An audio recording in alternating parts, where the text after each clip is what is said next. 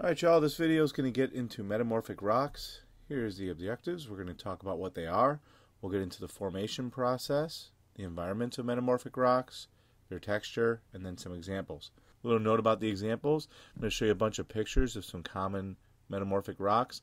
You don't need to memorize those pictures. You're going to see them again in class. Alright, so what are metamorphic rocks and what makes them different? Metamorphic rocks form from changes to pre-existing rocks due to intense heat and or pressure. And this always happens deep within the Earth's crust. An important note is that this happens before melting, because if it happens after the rock has melted, that molten rock turns into an igneous rock after it cools and crystallizes. So this must happen before it melts, otherwise it's going to be an igneous rock.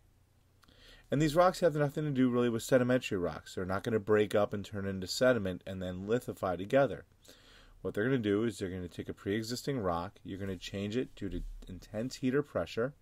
This happens deep within the Earth's crust. That's another difference from sedimentary rocks.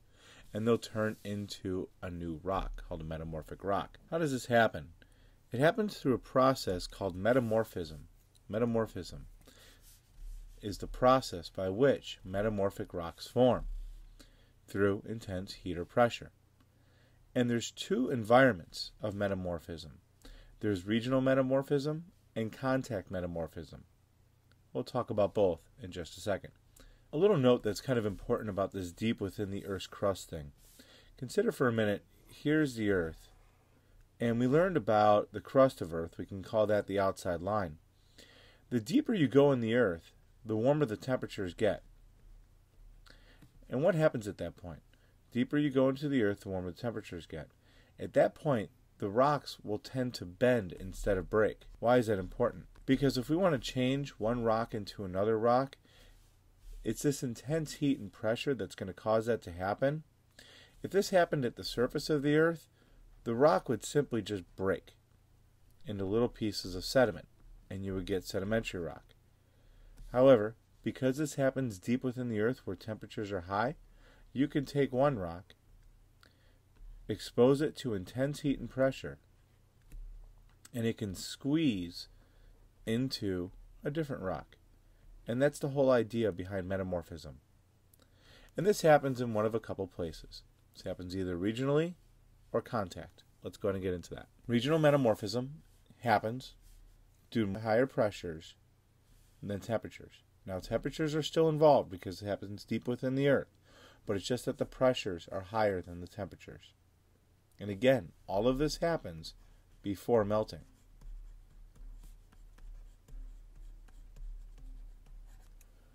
This happens over a very wide area, generally near mountain belts or at plate boundaries. Now, when I say wide area, this can cover states. It can be on an entire margin of a continent. Or I'm sure you've heard of plate tectonics before.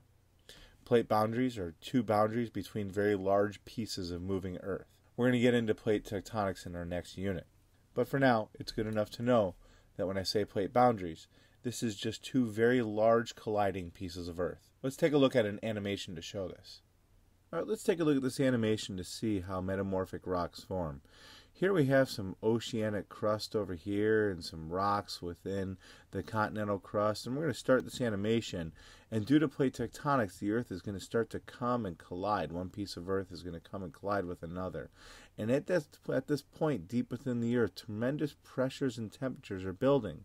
And as you can see right up here, what this is showing is that the minerals within the rocks are all becoming parallel or aligned.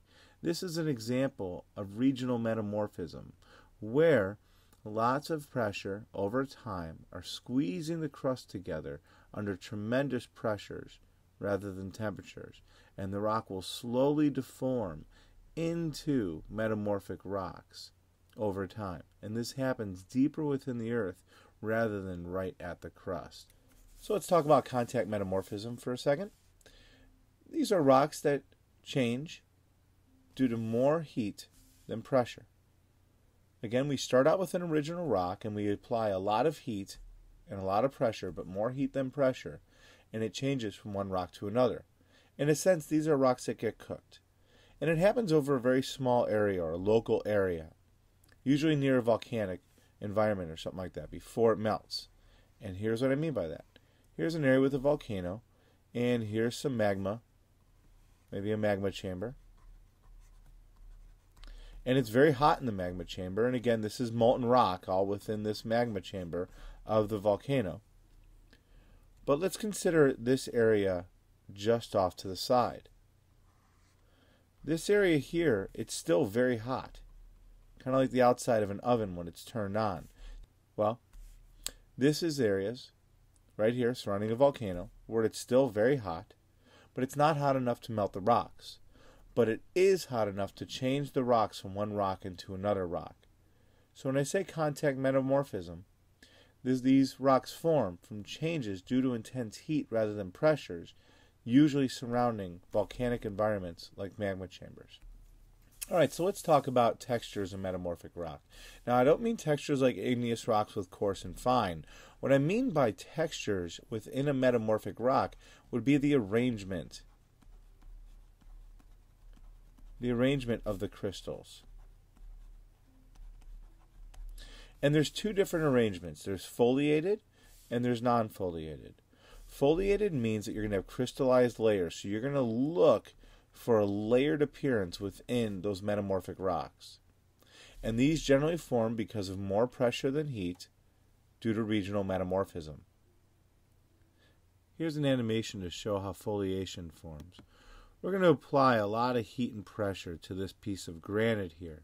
And after that happens, the rock is literally going to get squeezed under high pressures. And when that does, the minerals within the rock all align in these parallel bands. And we call these parallel bands foliation. And this is what it looks like. So we turn the original rock from granite into gneiss because of high pressures and high temperatures. Non foliated rocks, you have a uniform non layered crystallized appearance. They form from more heat than pressure generally due to contact metamorphism. Let's take a look at some examples, but before we do, it's important to get down two more words, and these are your last two vocab words parent and daughter.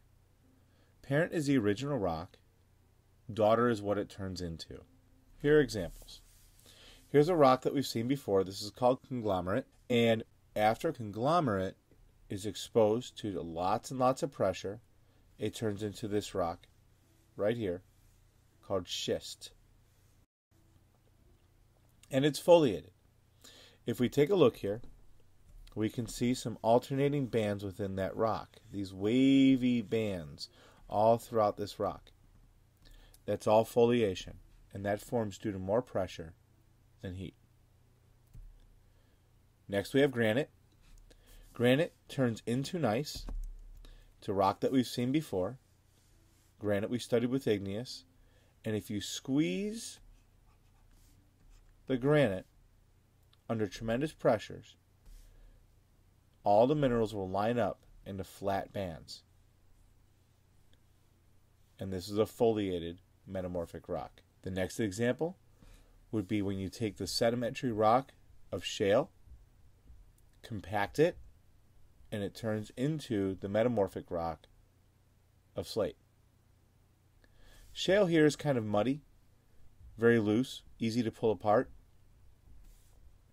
Slate is a very tough and compact rock. It's what your lab stations are made out of. Next, we have shell limestone. And shell limestone, as the name implies, has a lot of shells in it. And after those shells are cooked, they turn into a rock called marble. Marble is used for a lot of statues and a lot of carvings. This is a non foliated metamorphic rock. Here we have a piece of sandstone. Sandstone, when cooked under higher temperatures rather than pressures, turns into the non foliated rock quartzite, which is a great building stone.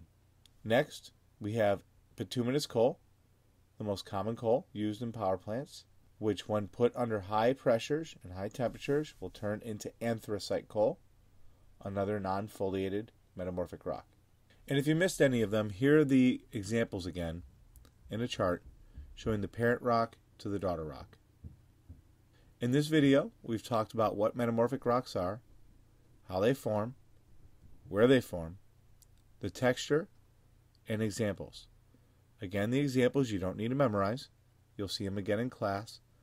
However, you will be expected to know them for the rock identification test. If you have any questions, please feel free to send me a note on Edmodo or ask me in class.